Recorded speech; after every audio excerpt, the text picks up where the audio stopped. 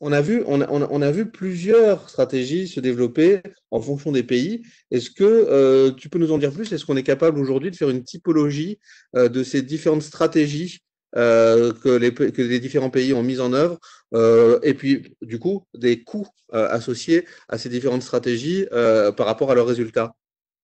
Si on regarde la situation, finalement, la situation actuelle n'est pas si différente que ça de la situation dans laquelle nous étions au mois de décembre, janvier, février, où euh, nous devions nous, préparer à l'épidémie. Finalement, le risque épidémiologique est le même, le virus va se comporter de la même manière. Donc les stratégies euh, que nous avons en face à nous sont essentiellement les mêmes. La différence, c'est que cette fois, on a une meilleure information sur la pertinence et sur la mise en œuvre de ces stratégies. Donc ça, ça va nous permettre d'avoir un petit regard rétrospectif pour savoir la meilleure façon d'aller de l'avant. Donc essentiellement, on peut mettre les stratégies dans trois, euh, dans trois groupes. le premier groupe de stratégies, ça va être de chercher l'immunité de groupe. Donc, qu'est-ce que c'est que l'immunité de groupe? L'immunité de groupe part de l'hypothèse qu'une personne infectée et guérie ne sera pas infectée à nouveau. En tout cas, une grande partie de ces personnes-là ne pourront pas être réinfectées parce qu'elles ont développé des résistances. Et que finalement, ces personnes vont servir de barrière à la transmission du virus si jamais euh, ben, elles venaient euh, à être à nouveau en contact du virus. Donc ça, c'est la stratégie suivie actuellement par euh, la Suède, qui a été suivie par le Royaume-Uni, par le Pays-Bas, qui en sont beaucoup revenus, parce qu'elles sont aperçues que le coût humain de cette stratégie était extrêmement fort. Pourquoi? Parce que comme on a un virus qui se transmet beaucoup, ça veut dire que pour avoir suffisamment de barrières, il faut que 70% environ de la population ait développé une immunité. Et donc, à partir de là, euh, étant donné que 70% a été euh, infecté, on a quand même un nombre de morts qui est jugé inacceptable par euh, nos euh, populations. Donc la, la question, c'est, voilà, euh, ici vous avez un petit sondage, les trois, trois stratégies, immunité de groupe, trouver des vaccins ou des traitements, combattre la transmission, c'est-à-dire arrêter les chaînes de transmission, où pensez-vous que se situe la France parmi ces trois stratégies? Donc je vous laisse répondre et puis on reviendra sur cette question après. Donc c'était la première question, donc la première stratégie, pardon, l'immunité de groupe. La deuxième stratégie, c'est celle de trouver un traitement, de trouver un vaccin. On peut se dire, si quelqu'un tombe malade et qu'il y a une façon de guérir cette personne assez facilement, et eh finalement, c'est pas si grave, puisque on sait comment traiter la maladie et euh, ben, le nombre de, décès dus à la maladie sera très faible et, euh, et finalement, c'est pas si grave que ça de laisser le virus se répandre. Donc les, États-Unis ont été euh, pas mal dans cette recherche-là. Il y a quand même actuellement des équipes internationales qui cherchent un vaccin. le problème du vaccin, comme des traitements, c'est que cela demande des investissements en recherche et que ça prend du temps. Et il faut notamment passer par des protocoles médicaux qui sont assez lourds, qui demandent de la validation. Donc même à supposer qu'on trouve un vaccin aujourd'hui ou demain, il faudrait un certain temps pour que le vaccin soit réellement considéré comme sain et non dangereux pour euh, l'espèce humaine. Et tout cela, bah, ça veut dire qu'on a une grande incertitude et que cela prend du temps. Et finalement, la troisième stratégie, ou on peut dire le troisième groupe de stratégie, ça va être d'accepter la présence du virus, de vivre avec, mais de ralentir sa transmission, c'est-à-dire de prendre toutes les mesures pour éviter que chaque personne contaminée en contamine encore plus autour d'elle. Et ça, c'est ce qui a été recommandé par l'OMS très tôt, c'est ce qui a été suivi par les pays d'Asie du Sud-Est dans leur ensemble, c'est ce qui a été suivi par l'Allemagne. Et qu'est-ce que ça demande? Eh bien, les moyens sont euh, qu'on appelle les EPI, l'équipement de protection individuelle. Hein, vous savez, tout ce qui est les masques, l'utilisation du gel, etc., etc. Ce sont les mesures de distanciation sociale qui font qu'on on prend moins de risques de se contaminer euh, les uns les autres. Et puis, il y a tout un tas de stratégies qui sont vraiment euh, tracées, testées, isolées, ce qui veut dire que chaque personne contaminée va donner lieu à une enquête pour tester les contacts, tracer les contacts identifier chaque personne qui pourrait être porteuse du virus et l'isoler afin qu'elle ne soit pas un danger pour le reste de la population. Et ça, c'est une stratégie qui est finalement euh, peut-être euh, euh, comment dire moins risquée, mais qui demande une grosse organisation et qui a un coût économique parce qu'il faut vraiment mettre en œuvre un, tout un ensemble d'acteurs autour de cette stratégie. Donc peut-être que je peux revenir au cas de la France. On peut peut-être euh, afficher les résultats du, sondage, voir euh, ce qu'en pensent les participants à, ce webinaire. Le sondage, les résultats arrivent. Qui n'ont pas, euh, qui n'ont pas encore voté, vous avez encore quelques instants pour le faire. Voilà. alors, tu vois, Olivier, 60% des répondants pensent Je vois que la communication récente du, gouvernement a été, euh, a été efficace. voilà, jusqu'à relativement peu, jusqu'à peut-être deux, trois semaines, on parlait assez peu finalement de ces, de ces stratégies de, de, rompre la chaîne, tracer, tester, isoler. C'est vrai que le confinement, c'est une façon aussi de combattre la transmission. Donc, d'une certaine manière, la France a beaucoup été là-dessus. La France a beaucoup misé sur la possibilité de trouver un traitement. Hein, on le sait, euh, l'INSERM a, été euh, fortement impliqué euh, dans des protocoles européens de recherche sur un certain nombre de médicaments, dont la fameuse chloroquine. Bon, finalement, voilà, on n'a pas l'impression que euh, les choses se débloquent très vite dans ce sens-là. Donc là, la France maintenant est clairement est dans une optique de développer sa capacité de test afin de rompre les, chaînes de transmission, euh, ce qui n'était pas aussi euh, clairement le cas, en tout cas de la manière dont je l'ai entendu il y a encore quelques semaines.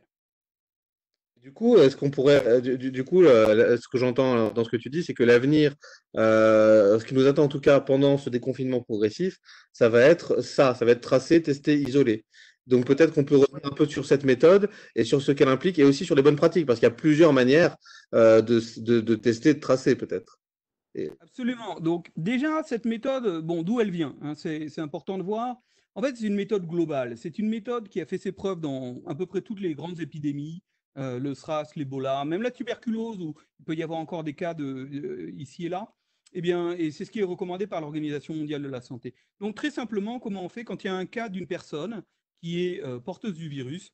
On va faire une enquête sur cette personne. Il y a différentes méthodes. On reviendra sur les méthodes pour effectuer l'enquête. Et puis, on va demander à toutes les personnes qui ont été en contact avec ce porteur du virus de se faire tester.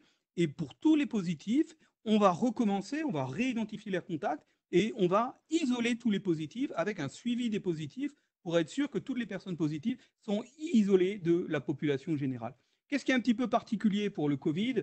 Bah, Comme on le sait, il y a un grand nombre de personnes qui sont asymptomatiques, soit qu'elles n'ont pas encore développé les symptômes, elles sont prêtes à le développer euh, d'ici euh, un jour ou deux, soit ce sont des personnes qui ne développeront jamais le symptôme, et ce sont pourtant des personnes qui, euh, peuvent transmettre le virus. Donc à partir de là, eh bien, pour briser la chaîne d'infection, il va falloir identifier euh, les personnes euh, qui puissent être asymptomatiques et porteuses du virus, et donc ce qui veut dire tester les personnes asymptomatiques. Et là, c'est vraiment quelque chose d'important qui est relativement nouveau. En France, on parlait uniquement de tester les personnes symptomatiques jusqu'il y a peu, et euh, les dernières déclarations vont clairement dans le sens de tester les personnes asymptomatiques, cette fois non dans un but médical, c'est-à-dire de connaître la situation médicale d'une personne qui serait malade, qui présenterait des symptômes, mais bien de casser la chaîne de transmission si, euh, arrête-moi si je me trompe, mais il me semble que c'est quelque chose qui a été euh, qui, s'inspire d'exemples étrangers. On a dit notamment que l'Allemagne avait particulièrement mieux réussi que nous dans la première phase de l'épidémie. Euh, peut-être que tu peux nous expliquer un petit peu ce qui a fonctionné, en tout cas dans le cadre allemand, dans, dans l'application de cette stratégie d'isoler, d'identifier et de tester. Absolument. L'exemple allemand est très intéressant. Euh, et on peut le comparer vraiment à notre, à notre cas français. On est des pays voisins avec des économies quand même assez similaires. Donc, qu'est-ce qu'on a en Allemagne? Déjà, on a un grand leadership scientifique euh, de Christian Drosten. C'est un spécialiste, en fait, euh, virologue, qui a travaillé sur le virus du SARS, qui a réussi à, à, à, lire son ADN, donc à décoder le génome du SARS, qui a développé un test de dépistage du SARS, qu'il a mis ensuite disposition de l'OMS, et c'est aussi une personne qui est euh, responsable euh, du dépistage du dernier virus du SARS-CoV-19. Donc c'est vraiment quelqu'un qui est euh, très en phase sur les questions de dépistage du virus et qui a aussi une expérience, et on reviendra là-dessus, d'une de, de, de, la vague de SARS qu'on a connue en 2003. Si on regarde ce qu'on dit sur l'Allemagne, euh, qui est très juste, c'est que c'est un pays qui est beaucoup plus décentralisé que la France. On parle très souvent du système de Länder et de l'autonomie des Länder. C'est important effectivement, mais cette décentralisation va encore plus loin que les Länder.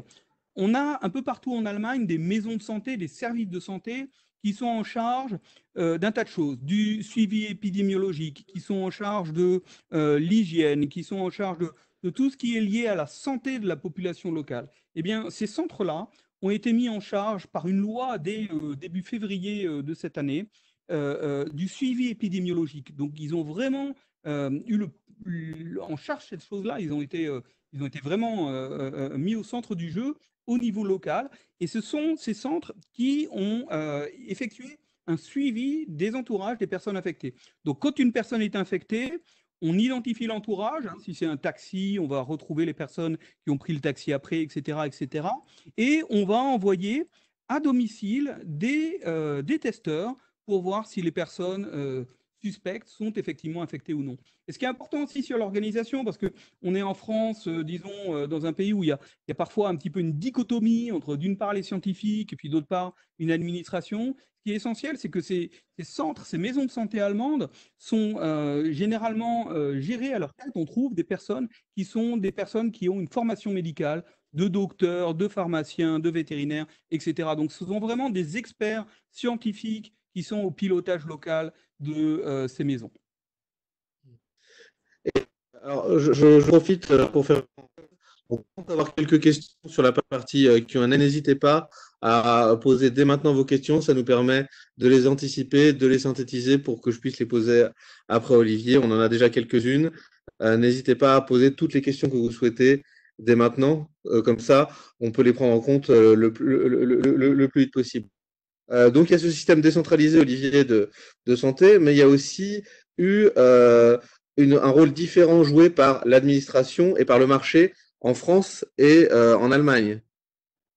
Alors ici, c'est un facteur clé de succès, effectivement. Ça a été la réactivité et ça a été l'ajustement des prix. Ça, c'est, je vous cite tout simplement Christian Drosten dans une interview au Guardian, donc en avril. Il nous dit que, ici en anglais, que finalement le développement, la mise en place de tous les services en Allemagne a été piloté par les forces du marché. Donc cette loi d'offre et de la demande et cette prix, ce prix qui s'ajuste finalement à la demande. Et donc quand on a une demande plus élevée pour un certain produit, comme les tests, comme pour les masques, etc., le prix augmente. Ce qui veut dire que le système de production va naturellement guider euh, et s'orienter vers ces biens pour lesquels la, la demande est plus forte. Voilà, ici la demande et ici l'offre. Et donc, ça a été vrai euh, pour euh, les tests, où euh, l'Allemagne a une capacité de monter en puissance sur les tests, mais aussi sur le personnel technique qui a été rapidement formé, qui, a, été, qui est passé de d'autres activités qui étaient moins urgentes à la capacité de test notamment. Donc là, il y a un élément de confiance finalement dans ce qu'on appelle les forces de marché qui a été fort et qui a joué un rôle clé en Allemagne. Et, et, avec des résultats probants, à ton avis? On, va regarder un petit peu les, résultats de ce qui s'est passé en Allemagne euh, comparé à ce qui s'est passé en France. Finalement, quel est le résultat des courses? Parce qu'on peut dire que l'Allemagne a suivi une, belle stratégie, mais ce n'est pas la question de la beauté ici. Si on regarde, rapporter un petit peu euh, donc à euh, la population, hein, on, peut regarder le nombre de tests qui a été effectué dans les deux pays, une façon de mesurer la stratégie, sur rapporté à 1000 personnes. Donc, si on voit ici la courbe rouge, ici à gauche, et, et l'Allemagne. Et donc, on voit qu'on a eu, jusqu'à il y a une semaine environ, 30 tests par 1000 personnes, dont 3% de la population en Allemagne a été testée pour euh, le Covid. En France, on est à trois fois moins, donc environ 1% de la population. Et encore, on a testé essentiellement des personnes symptomatiques. Finalement, quand on teste une personne symptomatique, c'est une personne qu'on va mettre à l'isolement que soit euh, que le test revienne positif ou non. Donc finalement, on n'a pas été, euh, on s'est pas énormément appuyé jusqu'à présent, en tout cas sur une forte capacité de test euh, qu'on a finalement à peine développée. Si on regarde le résultat en termes de, décès, euh, là on regarde un nombre de morts par million de personnes, eh bien la courbe du dessous, cette fois en bleu, est la courbe de l'Allemagne, et on voit qu'on a, euh, je crois, environ 85% décès par million de, citoyens allemands. Tandis qu'en France, nous sommes à 4 fois, 4 fois et demi plus. Vraiment, la, France euh, n'a pas eu une bonne stratégie en, termes, de, en termes de coût humain euh, du tout par rapport à l'Allemagne, avec un coût beaucoup plus élevé, alors que nous avons une population qui est, euh, qui est moins âgée et qui est donc moins susceptible de s'ouvrir du Covid. Maintenant, évidemment, on parlait de, de un petit peu de, de, comment dire, de compromis entre un coût économique et puis un coût un coût humain, ben on voit qu'on n'a pas été très bon sur le coût humain. Si on regarde le coût économique, là, on a les statistiques euh, du premier trimestre de 2020. Les statistiques économiques nous disent que l'Allemagne et la France sont en récession, mais pour l'Allemagne, on a une récession de 2%, en France, on a une récession de 6%. Donc le coût payé économique en France est nettement supérieur au coût économique allemand. L'Allemagne, cela s'explique par des mesures de confinement qui ont été moins fortes en Allemagne qu'en France, euh, notamment, l'Allemagne n'a pas mis à l'arrêt euh, le secteur de la construction, contrairement à la France. Oui, donc des, résultats très contrastés entre les deux, pays. Est-ce qu'on a d'autres euh, résultats internationaux, des choses factuelles sur lesquelles on peut s'appuyer pour penser ce, prochain déconfinement? On reviendra un petit peu sur, euh, sur toute une série d'autres pays, mais finalement, quand on regarde euh, assez simplement quels sont les pays qui s'en sortent bien, l'Allemagne est peut-être une exception en Europe, c'est vraiment, vraiment un pays qui s'en sort très bien. Les autres pays qui s'en sortent bien, ce sont des pays qui ont été atteints tôt par le Covid, qui ont eu peu de temps pour s'y préparer. Donc finalement, comment est-ce qu'on explique ça? Eh bien, c'est des pays, les pays essentiellement d'Asie du Sud-Est, qui ont été, comme Taïwan, comme Singapour, qui ont été atteints par le SARS en 2003, qui ont souffert du SARS et qui ont pris les conséquences euh, de cette épidémie qu'ils ont subie en 2003. Et donc les pays qui ont utilisé fortement leur expérience du SARS sont des pays qui sont généralement mieux que les autres. Et l'Allemagne, finalement, même si elle n'a pas souffert beaucoup du SARS, euh, en tout cas de manière comparable à la France uniquement, c'est assez faible, eh bien, c'est quand même un pays qui repose sur l'expérience du SARS à travers son leadership scientifique. Et le deuxième élément, bah, c'est que tous ces pays, ce sont des pays qui, effectivement, ont plus de mesures de confinement, se sont appuyés sur cette stratégie de tester, tracer, isoler, qui est, euh, qui est la stratégie vraiment centrale euh, qui permet de, sortir du blocage. On, entend beaucoup en, ce moment également parler d'expérience ou de possibilité euh, d'avoir de, de s'appuyer sur les nouvelles technologies, sur l'intelligence artificielle, sur des nouvelles applications pour aider à ce déconfinement. Il y a eu des expériences dans d'autres pays. le débat aujourd'hui en France, c'est plutôt un débat sur l'éthique euh, est-ce que, euh, oui ou non, c'est éthique de tracer la population en vue euh, de la santé publique Peut-être qu'on peut déplacer un petit peu, cette question. La question, c'est est-ce que, c'est efficace? Est-ce que la technologie, dans quelle mesure la technologie peut aider ou pas? Et du coup, qu'est-ce que, et, du coup, d'un point de vue purement justement factuel, qu'est-ce qu'on peut en dire? Exactement. Là, là, on était dans un premier dilemme terrible. Est-ce que finalement, pour sauver des vies, il ne faudrait pas sacrifier l'économie. Et est-ce que maintenant, pour sauver l'économie, il ne faudrait pas sacrifier les libertés individuelles, les libertés fondamentales? C'est quand même une question euh, qui, nous, frappe.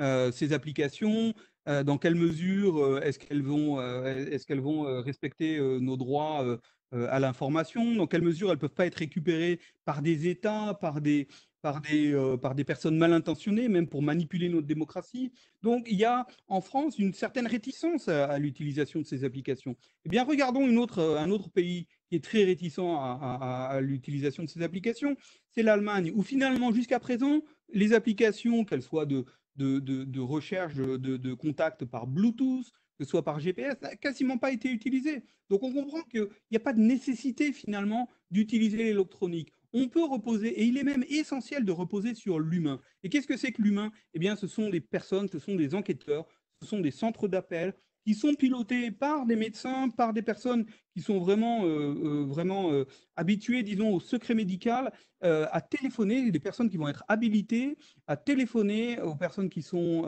infectées. Donc ces personnes-là qui doivent être, si elles ne sont pas à l'hôpital, qui doivent être en quarantaine, de, de les suivre, de s'assurer que leurs symptômes ne se développent pas, mais aussi d'identifier leurs contacts et de téléphoner ensuite à ces contacts et de s'assurer que ces contacts eux-mêmes se font tester. Donc si on regarde le, un petit peu internationalement tout ce qui s'est passé, eh bien on voit que sur toute l'utilisation de la technologie, que ce soit le GPS, que ce soit le Bluetooth, même les caméras de surveillance, c'est quelque chose qu'on ne souhaite absolument pas avoir en France, eh bien on a une vaste panoplie euh, d'outils qui a été utilisée. Mais est-ce que ce qui est important, ce sont ces outils ou est-ce que c'est la technologie, c'est-à-dire vraiment ce que je disais, tous ces appels, tout ce suivi humain? Et si on comprend un petit peu les avantages comparés euh, des, uns et des autres?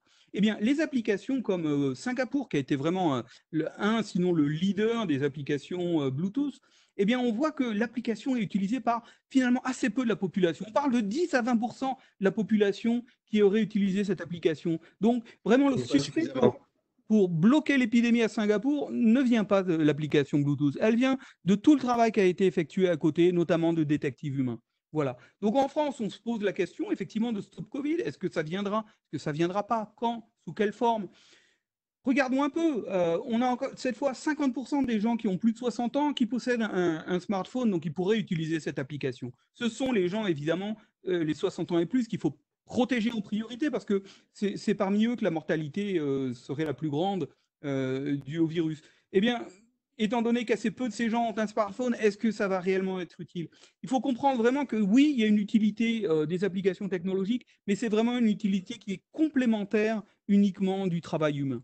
Voilà. Et je peux dire peut-être un mot de, des contacts. Hein. Quels sont les contacts qui, vont, qui, qui, qui, ont le plus de chances d'être infectés? Eh bien, si vous êtes malade, vous avez beaucoup de chances d'infecter votre famille. Vous avez beaucoup de chances d'infecter les gens avec qui vous passez beaucoup de temps. Vous avez beaucoup de chances d'infecter euh, euh, euh, vos collègues de travail. Mais une personne que vous aurez croisée dans la rue, qui sera vue par, par l'application, eh bien, finalement, non, vous n'avez pas tellement de chances d'infecter cette personne. Donc, où est-ce qu'il va falloir utiliser nos moyens, notre force de, traçage, notre force de test, il va falloir l'utiliser chez les personnes qui ont la plus grande chance d'avoir été infectées, donc dans les contacts proches. Et tout ça, ça peut se faire par du travail humain. Donc peut-être oui, la technologie, c'est bien, mais ici, on a une, focalisation très forte du débat en France sur l'utilisation de la technologie. Réellement, en premier plan, ce qui doit être mis en avant, ce sont euh, les forces humaines, les moyens humains. Donc, plutôt, donc, les moyens humains, plutôt que la technologie qui ne, qui ne serait là que comme une aide, mais en tout cas, il n'y a pas de solutionnisme euh, technologique. C'est ça que c'est, un petit peu ça. Absolument. Et si, je peux dire un dernier mot sur l'humain, en fait, il me semble important, je, on anticipe peut-être une discussion qu'on va avoir dans un moment, c'est que dès le déconfinement, on est des équipes très fortes en nombre qui soient capables de faire ce traçage. Parce que si les équipes ne sont pas fortes au moment de déconfinement, là, ça veut dire que l'épidémie va reprendre.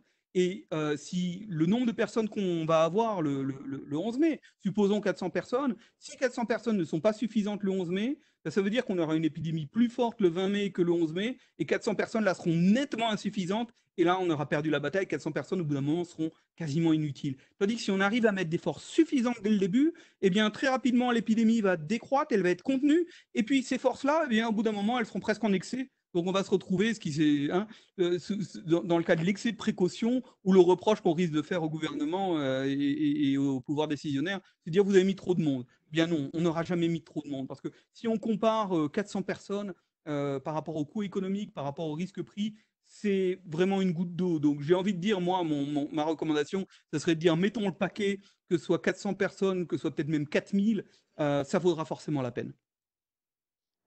Merci Olivier. Euh, je te propose, euh, puisque ça fait, ça fait maintenant un peu plus de 30 minutes qu'on parle ensemble, euh, de donner la parole aussi aux participants et de commencer à, me faire l'écho de leurs questions. On a, pas mal de questions, dont l'une qui, est en lien avec ce, que tu, viens de dire. Tu viens de faire des, préconisations. tu viens de donner un avis assez tranché sur ce qu'il faudrait faire ou ne pas faire. Euh, l'une des premières questions qu'on m'a posées, c'était euh, un participant qui me demandait euh, est-ce que le département de l'X a, été contacté, le département d'économie de l'X a été contacté dans le cadre de la stratégie de déconfinement? Apparemment, il aurait lu que oui. Et peut-être qu'on peut poser les choses à un autre niveau aussi, qui serait celui de la manière dont, dans cette crise, des décisions politiques se sont appuyées ou pas sur euh, des savoirs de type scientifique, c'est-à-dire quel est le rôle finalement euh, du scientifique, qu'il soit économiste ou épidémiologiste dans la, dans la crise, pour éclairer, euh, pour, pour, éclairer la décision politique? Et est-ce que on est dans une position juste en France par rapport à ça, par rapport à d'autres pays? Oui, là, il y, a vraiment en France, je pense, des, systèmes avec des, services qui sont plus ou moins centralisés. Hein. On a parlé du, conseil scientifique, on a parlé aussi de, CARE, hein, qui est vraiment euh, un service euh, avec des, personnes qui sont euh, des, grands spécialistes du, sujet et qui sont interdisciplinaires. Ensuite, on a, on a d'autres groupes. Hein. Le CNRS a un groupe qui est animé avec des statisticiens, avec des économistes, avec, euh, avec différents apports. Je pense qu'on a le droit aussi d'avoir un débat public. On a le droit d'avoir un débat public qui soit un débat scientifique. Donc on peut attendre, disons que tel ou tel ministère euh, euh, utilise un petit peu des idées qui sont développées ici ou là. Et c'est important que les scientifiques aient aussi eux-mêmes un débat et cherchent le contact avec la population, cherchent le contact avec euh, d'autres scientifiques, cherche le contact avec les décideurs publics. Et il est important aussi que les décideurs publics soient à l'écoute des scientifiques. Donc c'est quelque chose qu'on développe, c'est quelque chose qui me paraît central pour euh, le rôle du scientifique, j'ai envie de dire, dans la société. Je crois que c'est un petit peu aussi au, cœur de la stratégie de l'école polytechnique. c'est particulièrement important dans le cas de, la crise qui nous intéresse. Donc j'ai envie de dire oui et non. personnellement, je ne participe pas dans un cercle très proche gouvernemental, hein, que ce soit conseil scientifique ou CARE. mais en revanche, j'ai publié des travaux, donc, comme l'a rappelé Fabien, dans l'Institut de politique publique. Ce sont des travaux qui sont assez lus au niveau des, chambres. des chambres Sénat et, Assemblée. donc voilà, donc il y a une participation, il y a des choses qui viennent, qui reviennent. Je pense qu'il faut maintenir un débat vivant. ensuite, on peut se poser la question de la structuration, mais chacun, a la possibilité aussi de participer, tant qu'on s'appuie sur des bases scientifiques. Et tant qu'on accepte les règles scientifiques du débat, c'est-à-dire d'avoir des faits, d'avoir des systèmes de vérification et d'avoir des raisonnements qui soient euh, validés le plus juste possible. Merci. On a, on a une autre question qui me semble très intéressante, euh, euh, mais qu'on traitera, dans une prochaine minute. Donc, je te la, pose, mais on la traitera avec Sylvie Mélière notamment, qui va parler de la manière dont la modélisation permet de suivre euh, un petit peu les, les, phénomènes épidémiologiques.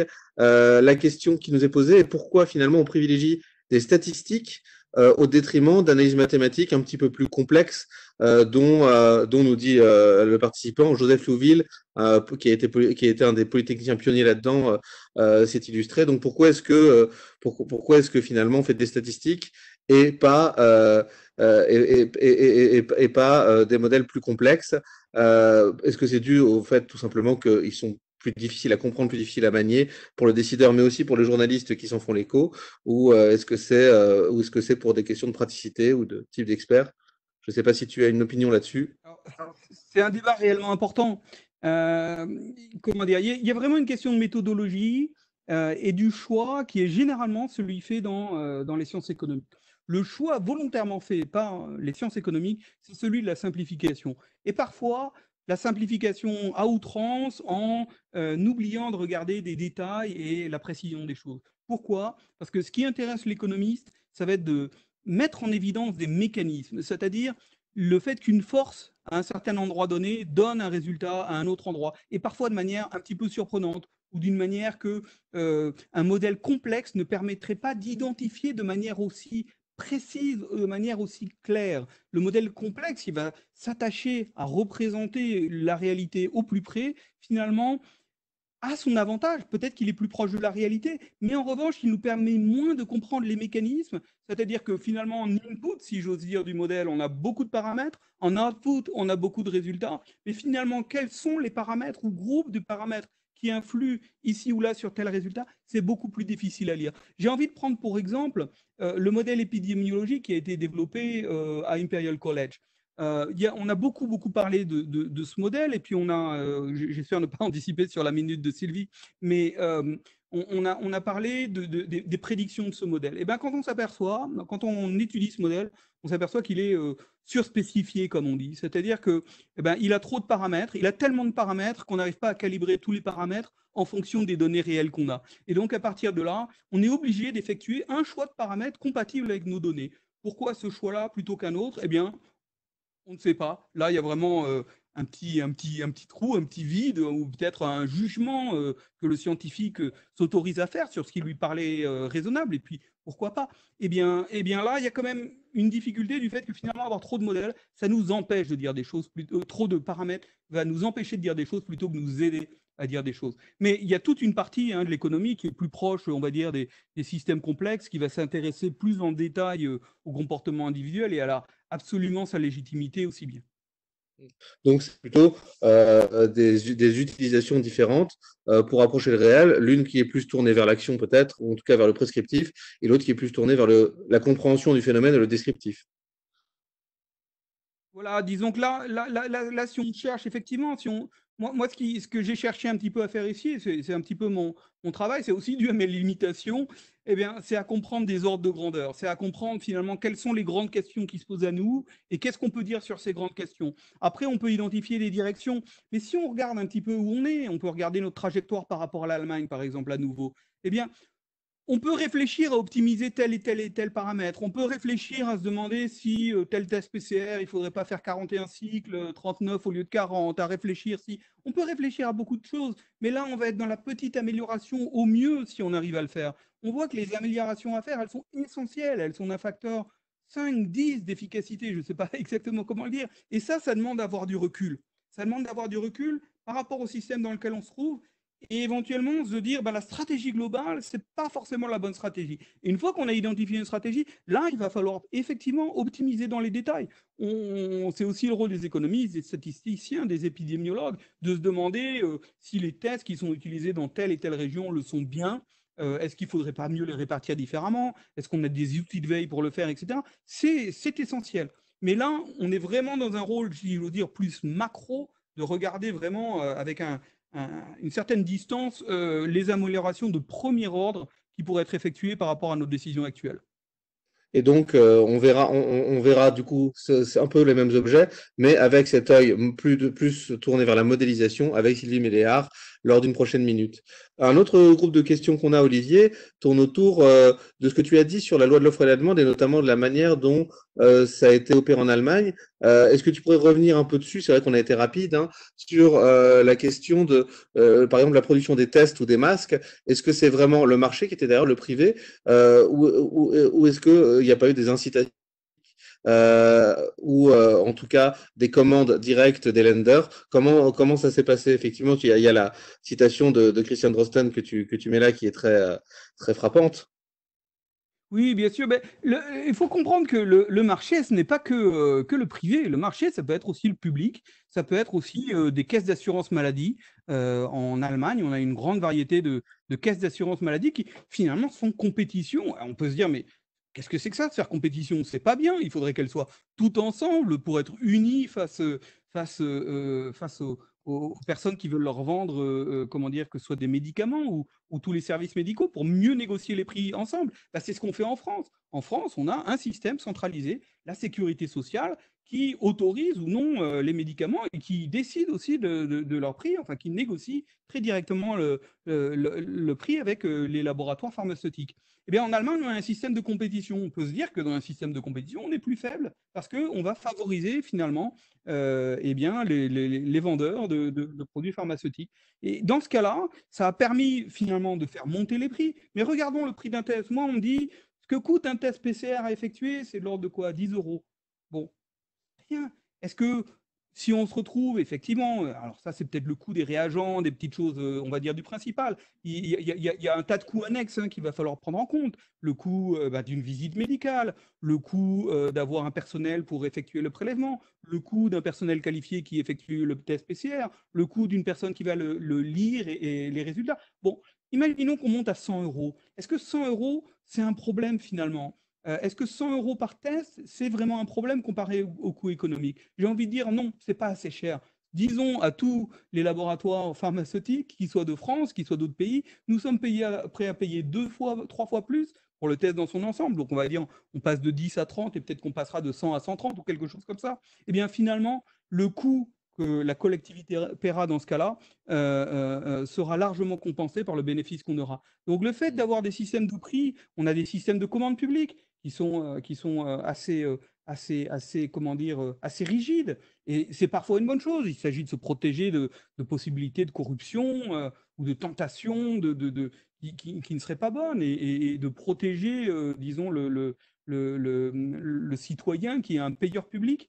Eh bien, là, finalement, si on se disait qu'on était prêt à payer nos masques plus cher, on aurait eu plus de masques plus vite. Et ça aurait été une bonne chose. Il faut comprendre que ce n'a pas uniquement organisé une pénurie, c'est-à-dire organiser une pénurie mondiale.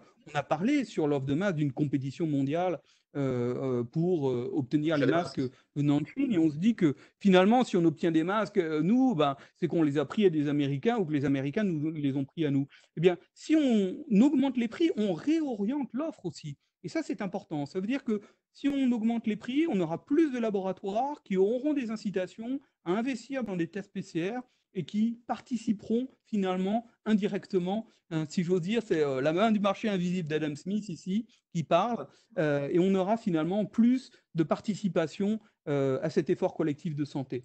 Donc, effectivement, on veut être prudent sur les prix qu'on est prêt à payer en tant que collectivité pour des traitements médicaux. Mais là, on a des prix qui sont finalement tellement inférieurs à la valeur qu'on devrait être tout à fait prêt à augmenter ces prix pour augmenter l'offre sociale de, ces traitements et tests qui sont absolument indispensables et qui sont actuellement en grande pénurie.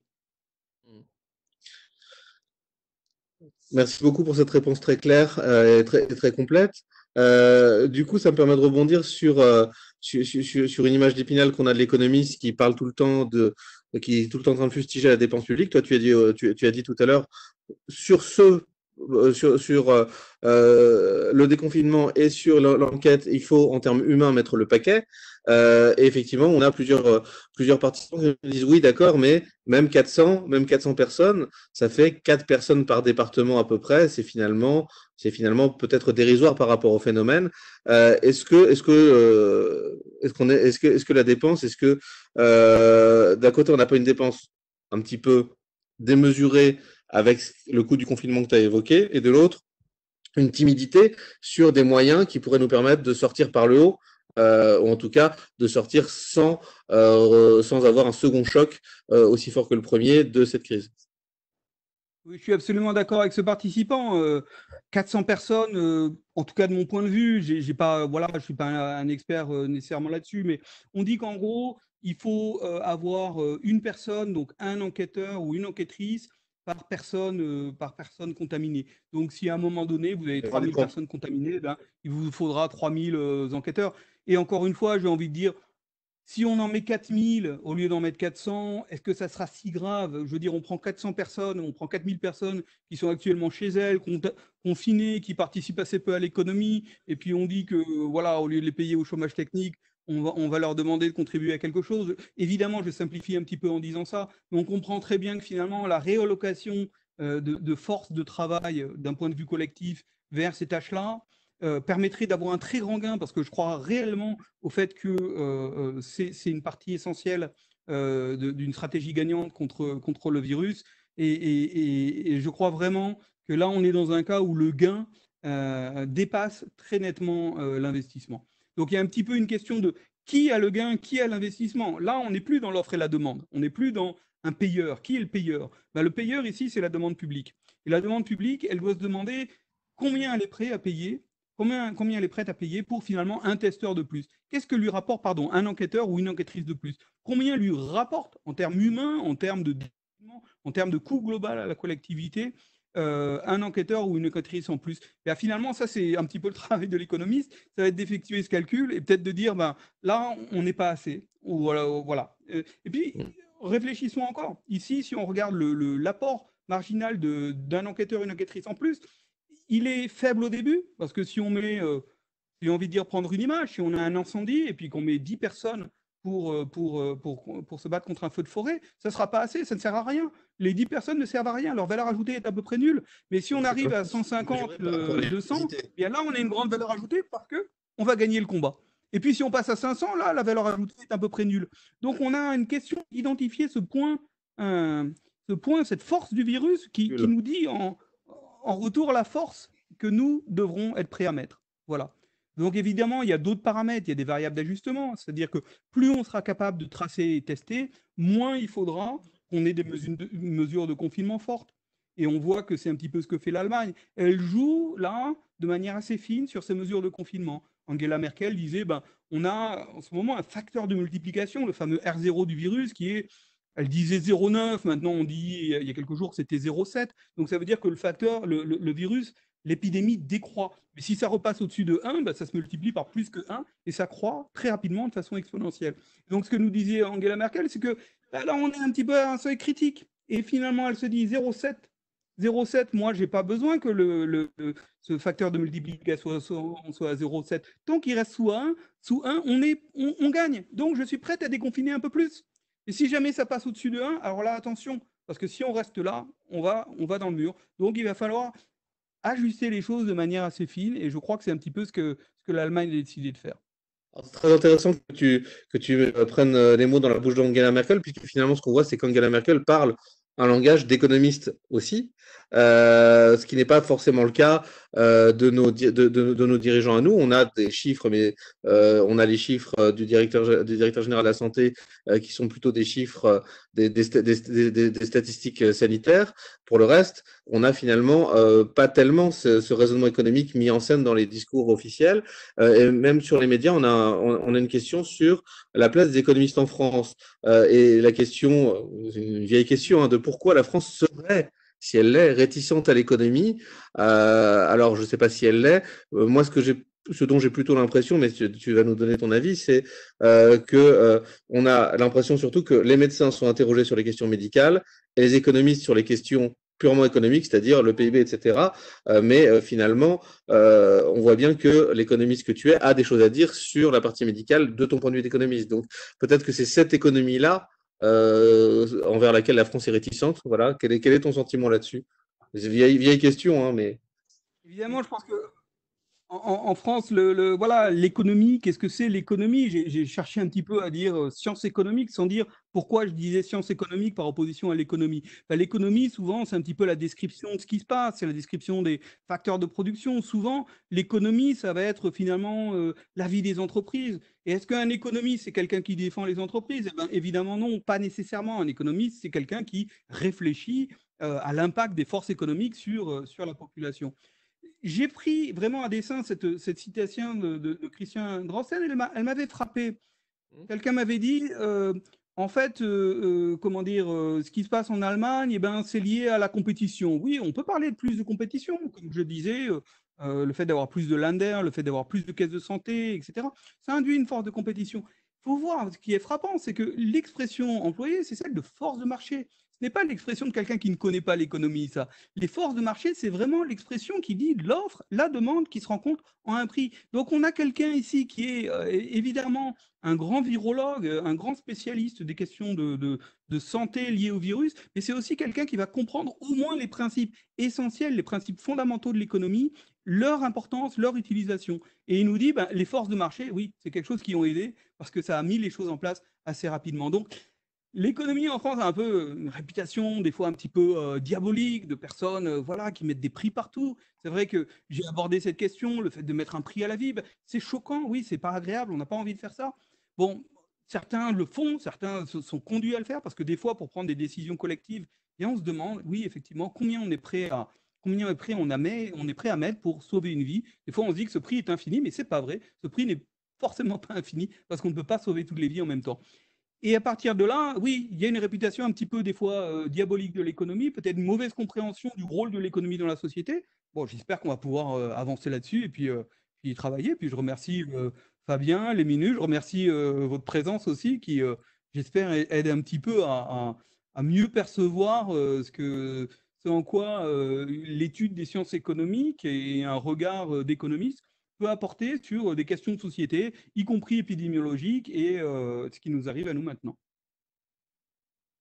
Peut-être une dernière question sur les deux minutes qui nous restent. Euh, tu, as, parlé du système décentralisé en Allemagne. On a beaucoup de questions sur la comparaison France-Allemagne.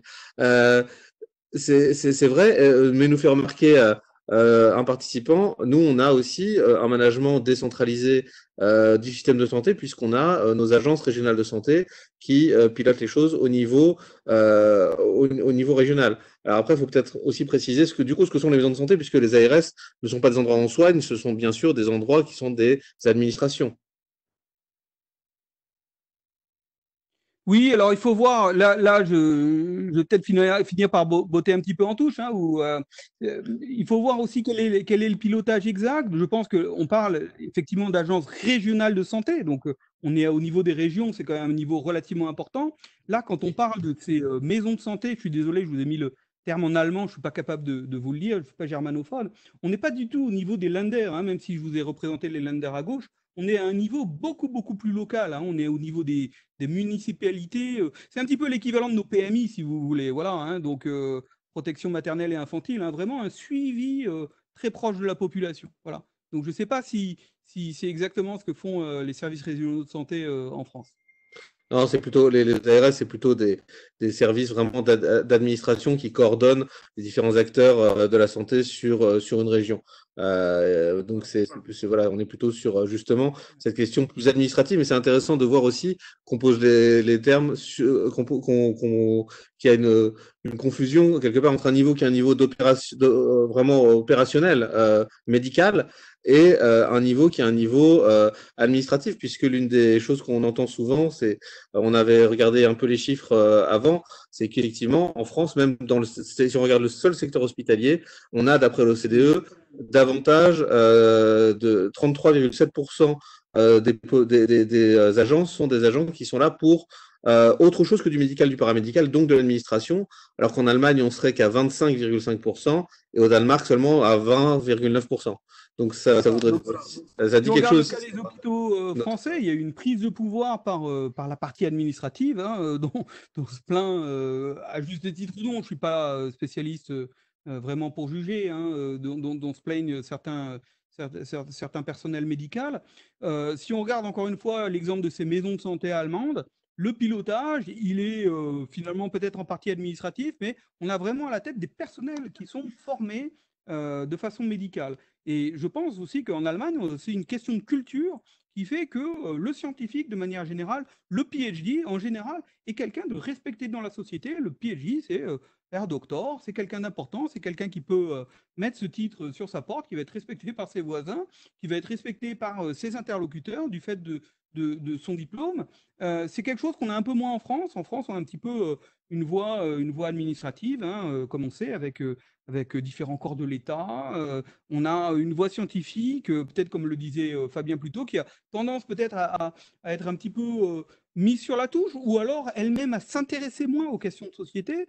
Et donc, si on n'a pas de porosité suffisante entre les différents milieux, eh bien, je pense que c'est euh, quelque chose de dommage, parce que euh, c'est dommage pour le scientifique, euh, en tout cas que je suis, hein, et mes amis scientifiques, de mon point de vue, de, de ne pas s'intéresser aux questions de société, parce que c'est quand même une grande chance de pouvoir contribuer à la société, et c'est dommage pour la société et pour, et pour l'administratif de ne pas reposer sur une réflexion scientifique, qui est une réflexion qui a l'avantage de pouvoir prendre le temps long, qui n'est pas quelque chose que euh, l'administratif qui, travaille dans le quotidien euh, peut nécessairement faire. Donc, je pense qu'il y a des apports qui, sont, euh, sont, tout à fait complémentaires et qui doivent être mis à, travailler ensemble. Merci beaucoup, Olivier. On arrive au bout de, de la petite heure qu'on s'était donnée à, à passer ensemble. Euh, en tout cas, euh, dans, dans ta réponse à la dernière question et dans la conclusion, il y a l'idée aussi que on a peut-être à revisiter en partie, en tout cas, euh, en, tout cas, c'est une des intuitions que j'ai, le management global de notre système de santé. Et j'espère qu'on pourra approfondir ça lors d'une des prochaines minutes, notamment avec Étienne Mainviel, qui est à la fois médecin et aussi spécialiste de management de l'innovation dans la santé. Donc, j'espère qu'on pourra parler un petit peu, un petit peu de tout ça. Et on en parle en tout cas dans le cadre de nos formations, puisqu'on a une formation qui est, vraiment sur ce terrain de l'innovation managériale dans, dans, la santé. Merci beaucoup en tout cas Olivier pour, euh, pour, pour, pour ton temps, pour cette heure et pour ces, ces, euh, euh cette manière de remettre un petit peu les choses en place aussi. Euh, merci à tous de nous avoir suivis pendant cette heure. Euh, la semaine prochaine, je recevrai Philippe Drobinski pour parler de la manière dont euh, euh, la crise du Covid nous dit quelque chose du réchauffement climatique, du, du changement climatique. Je vous espère nombreux. Et donc, je vous remercie en tout cas de nous avoir suivis et je vous remercie pour vos questions. À très bientôt. Merci infiniment. Merci.